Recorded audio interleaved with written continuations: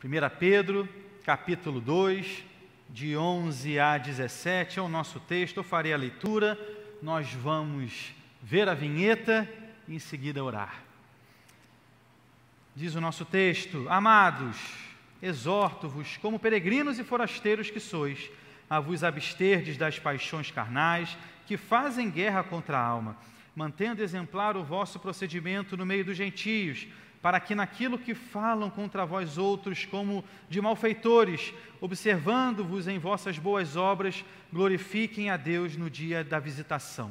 Sujeitai-vos a toda instituição humana por causa do Senhor, quer seja o rei como soberano, quer as autoridades como enviadas por ele, tanto para castigo dos malfeitores como para louvor dos que praticam o bem, porque assim é a vontade de Deus, que pela prática do bem façais emudecer a ignorância dos insensatos. Como livres que sois, não usando todavia a liberdade por pretexto da malícia, mas vivendo como servos de Deus, tratai todos com honra, amai os irmãos, temei a Deus, honrai o Rei. Vamos ver o vídeo da nossa série de sermões em 1 Pedro.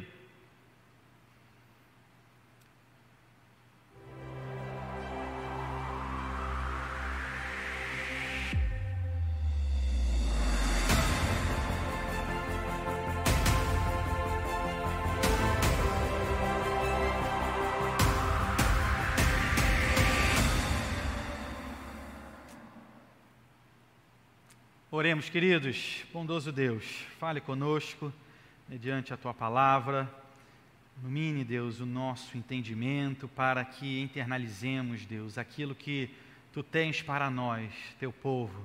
Ó Senhor, que essa palavra não se detenha tão somente em nós, mas que possamos propagá-la para a tua honra e glória, em nome de Jesus. Amém.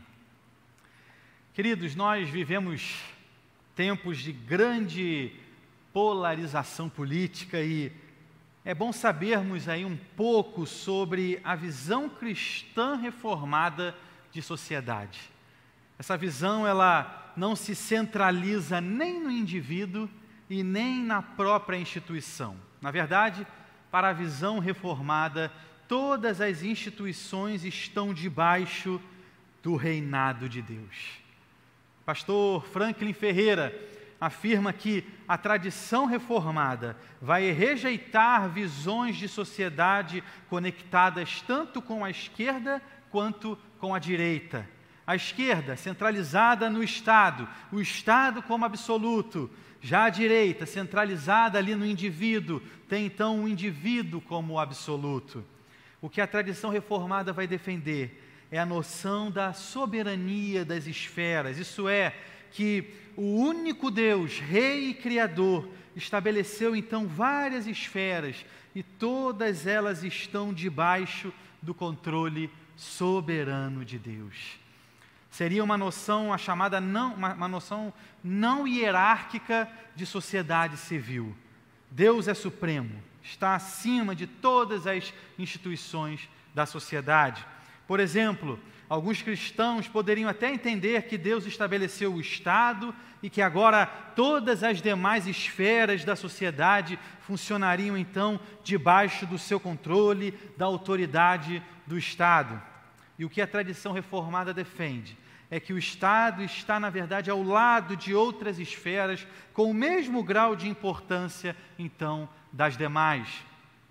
Por exemplo, vai nos falar que ao lado do Estado, Deus também criou outra esfera da sociedade, a família. A família não depende do Estado para sua existência, pois está ao lado, sem hierarquização. Outra esfera seria, por exemplo, a escola, uma esfera também independente do Estado e também da própria família. Ainda, por exemplo, outra esfera, as artes, o entretenimento, seria então uma outra esfera criada por Deus. Calvino afirmava que a igreja deve, portanto, agora cooperar com o Estado, promovendo a formação de bons cidadãos, com pessoas que, por exemplo, cumprem as leis, que pagam seus impostos. E em contrapartida, agora, o Estado deve cooperar com a igreja, promovendo a paz. Permitindo que haja harmonia na sociedade, de forma que, por exemplo, o culto ele não seja interrompido, ele não seja impedido. A igreja agora então fornece bons cidadãos e o Estado, em contrapartida, promove a paz. E o texto que nós lemos é um daqueles textos que, de forma tão clara, trata agora dessa relação entre igreja e o Estado. Pedro inicia aqui uma série de exortações práticas aos seus leitores, e se até agora ele foi um tanto quanto teórico, apresentando ali alguns conceitos doutrinários, a partir desse capítulo 2, ele passa a apresentar a chamada parte prática dessas doutrinas. E com isso, nós vamos analisar pelo menos três conceitos fundamentais de como deve ser então o comportamento civil, o comportamento público da igreja, principalmente em se tratando das autoridades. E o primeiro ensino de Pedro está aí, nos versos 11 e 12 do texto que nós lemos. A igreja, ela deve viver as suas relações com o Estado sem perder de vista a eternidade. Quando Pedro fala com relação à natureza da igreja. Ele enfatiza que a igreja nesse mundo é uma igreja peregrina, ela é forasteira. Veja comigo o verso 11: Amados, exorto-vos como peregrinos e forasteiros que sois. O peregrino, o forasteiro é justamente aquele que não é daqui, mas está simplesmente então de passagem. Esse mundo em que estamos, queridos, ele não é o lugar final, não é aonde nós faremos eterna morada. Nós estamos apenas de passagem, porque o nosso lar, a nossa casa, é a Nova Jerusalém, onde viveremos sim ali eternamente. John Bunyan escreve então o livro O Peregrino, um dos livros mais lidos de todos os tempos mostrando que nós somos exatamente dessa forma: forasteiros, passageiros, pessoas que estão então a, atravessando esse mundo para chegar na cidade celestial. Esse estado, então, em que nos encontramos aqui, queridos, não é final. Não é do desejo de Deus que convivamos para sempre com o pecado como nós vivemos hoje. Esse mundo passará e não compete então agora à igreja apegar-se demais a esse mundo, ao invés de apegar-se ao Deus Criador, sustentador de todas as coisas. E assim então deve viver a igreja, na esperança do novo céu e da nova terra em Cristo Jesus. Servir a Deus, dando um bom testemunho perante o mundo sem se amoldar ao mundo, mas vivendo no mundo, sabendo que a sua herança então é a eternidade e não os valores propostos pelo mundo. E para que isso aconteça, Pedro diz que a igreja deve manter o seu comportamento, o seu procedimento de maneira exemplar. Verso 12: mantendo exemplar o vosso procedimento no meio dos gentios, para que, naquilo que falam contra vós outros como de malfeitores, observando-vos em vossas boas obras, glorifiquem a Deus no dia da visitação. Pedro aqui então está trabalhando o que Cristo falou lá no sermão da montanha em Mateus 5, a partir ali do 14, do verso 14. Nós, a igreja, nós somos a luz do mundo, nós somos o sal da terra. E para que, e para que eles vejam então as nossas boas obras, e vendo o nosso bom testemunho, glorifiquem a Deus. Precisamos viver nesse mundo com a consciência de que somos peregrinos aqui. E assim, agora, vivendo dessa forma exemplar, com bom testemunho, influenciar a que agora outros também glorifiquem o nome de Deus pelo nosso exemplo. E é justamente para isso, queridos, que nós vivemos para glorificar o nome de Deus em tudo que nós fizermos. Glorificar a Deus, queridos, na verdade, é o alvo da nossa fé, é o alvo do nosso comportamento cristão. A igreja ela está no mundo, mas ela serve ao mundo de olho na eternidade. E então, o nosso segundo princípio, trazido aqui por Pedro, é que a igreja deve então agora sujeitar-se às instituições humanas por causa do Senhor. Versos 13 a 16 vamos falar sobre isso. Veja comigo, por gentileza, o verso de número 13. Sujeitai-vos a toda instituição humana por causa do Senhor. E aí, até o verso de número 16, toda a sua argumentação terá essa frase do verso 13 como base. Ou seja, devemos obedecer às autoridades públicas simplesmente porque essa é a vontade de Deus para as nossas vidas. Lá em Romanos 13, de 1 a 7, o apóstolo Paulo nos diz que toda autoridade vem de Deus. Autoridade dos governos municipais, estaduais, federais, autoridade dos magistrados, autoridade ali do poder legislativo, essa autoridade, queridos, ela é delegada por Deus, e eu sei que, por mais difícil que seja para a nossa compreensão em se tratando dos tempos em que nós vivemos como nação, mas lembre-se que todas essas autoridades deverão dar a, conta a Deus das leis e de todo o seu procedimento como líderes da nação. E se caso essas leis então não glorifiquem a Deus, responderão diante do Senhor, justamente pela autoridade que Deus lhes conferiu, pela qual então deveriam zelar. Por isso, nós cristãos devemos respeitá-las. Por mais que estejamos ali, como falei há pouco, em tempos polarizados, muito cuidado, principalmente com aquilo que você, por vezes, aí tem escrito nas redes sociais.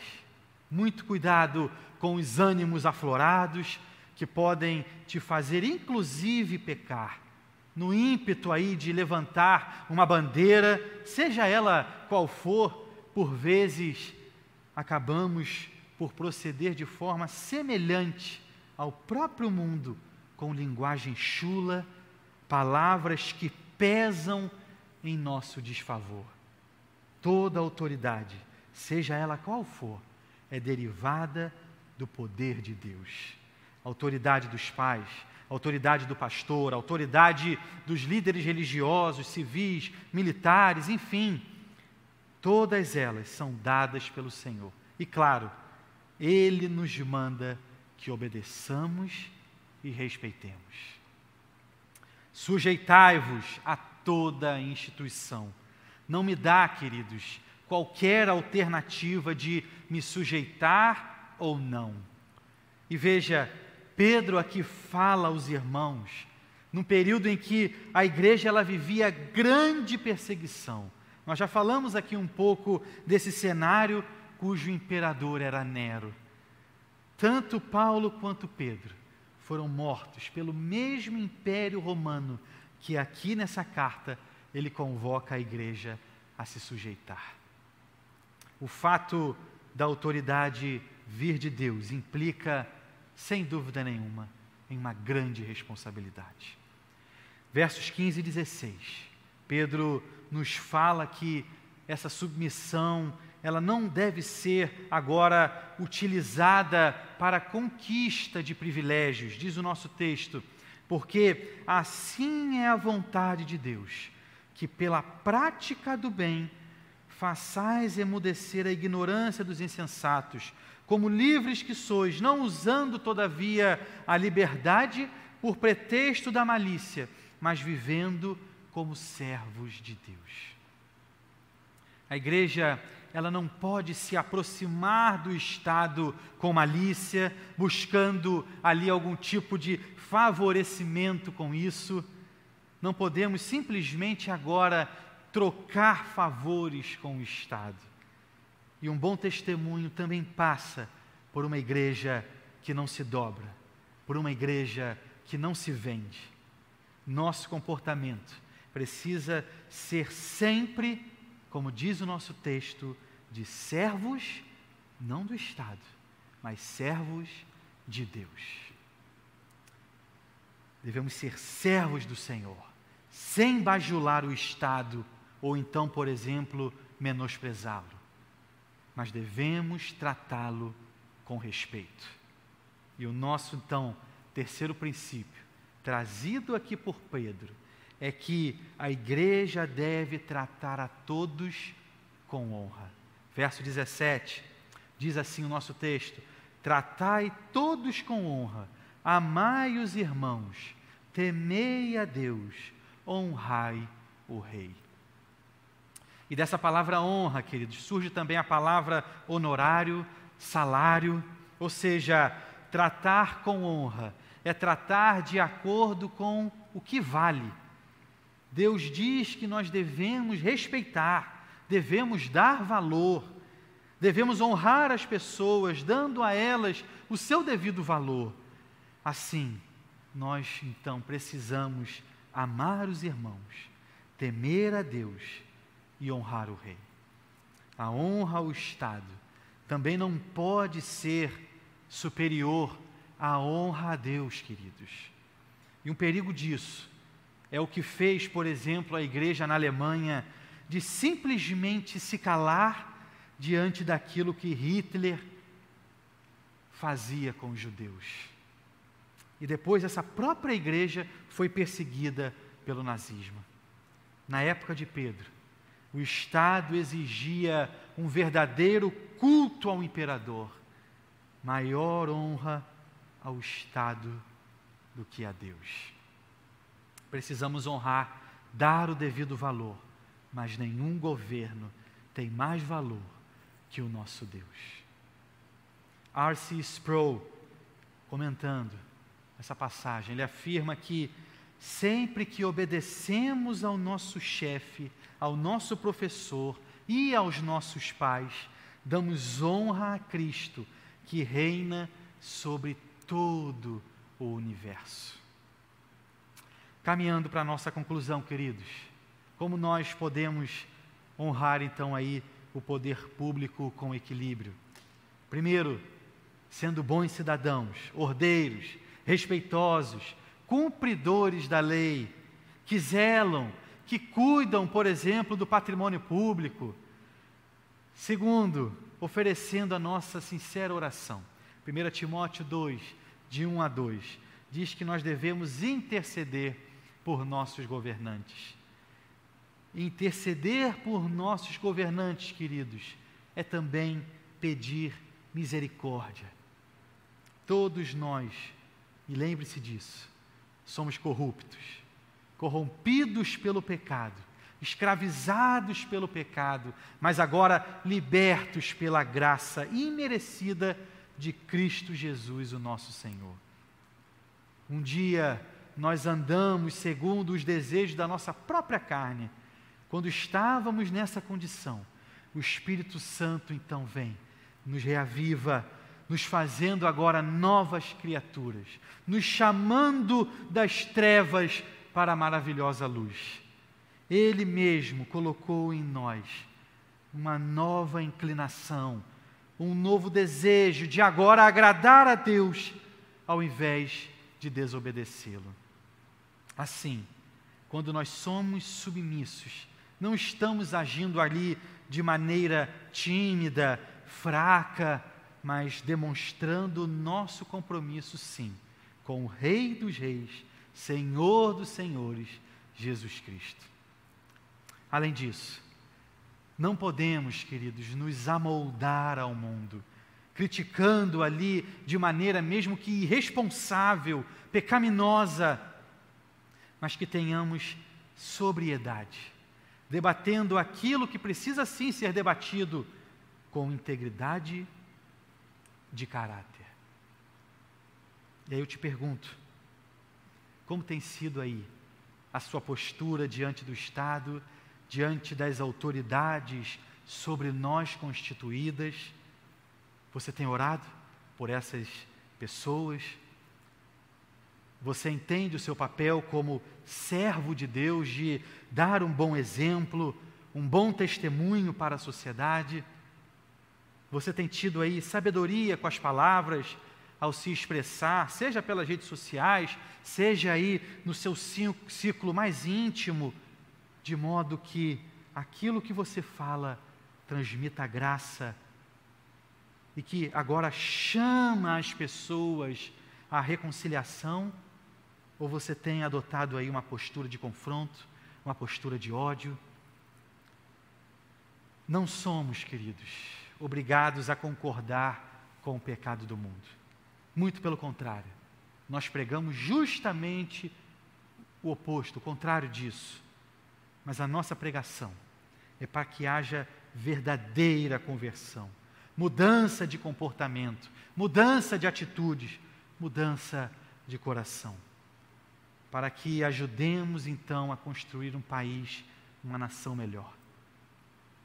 Como cristãos, precisamos sim orar, para que o Senhor, dia após dia, nos ajude a termos então esse comportamento exemplar. E claro, olhe para Jesus o autor e consumador da nossa fé.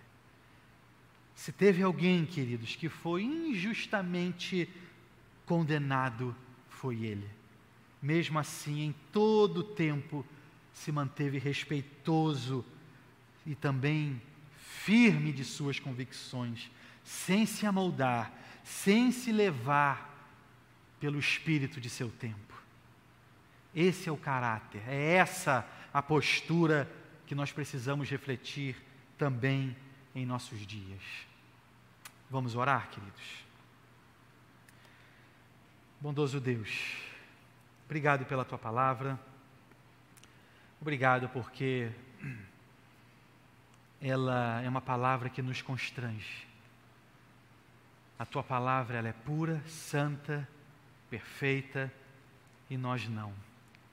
Justamente por isso, ela vem e, como que uma flecha, nos atinge. Ó Senhor, que verdadeiramente tenhamos uma mudança, mudança de atitude para com o nosso próximo, para com a nossa sociedade, de maneira que reflitamos não o que a nação XYZ tem feito, não o que cidadãos de determinado lugar estão fazendo, mas que reflitamos sim o caráter do nosso bom mestre, a face do nosso mestre, Cristo Jesus, aonde quer que estejamos, aonde quer que formos. Ó Senhor, vivemos dias tão difíceis, corrupções, questões tão complexas, mas nós sabemos qual é a cura disso tudo: o teu Evangelho, a tua boa nova que restaura, que transforma, que verdadeiramente muda, modifica os corações. Ó Senhor, nos use como canais da tua graça e que verdadeiramente, Senhor, possamos ver a nossa nação modificada, os nossos governantes rendidos a Ti, Senhor. E que seja Cristo sempre o nosso maior exemplo, o nosso paradigma, aquele a quem nós verdadeiramente louvamos e adoramos com as nossas palavras, com os nossos pensamentos, com as nossas atitudes. Que por meio dele, Deus, nós aqui oramos, Pai. Nos dê uma semana de paz, uma semana, Deus, contigo, sabedores de que as lutas virão, mas também certos que o Senhor está conosco. Que nós pedimos em nome de Jesus. Amém.